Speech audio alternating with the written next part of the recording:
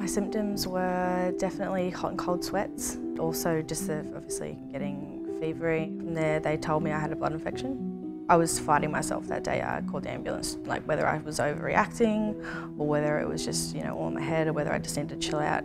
Something told me I needed to call the ambulance and I would definitely advise anyone to do that. Like as soon as you have that feeling where you need to do it, just do it. Don't even, you know, because at worst case scenario, it's nothing and you get to stay home. But best case, they save your life.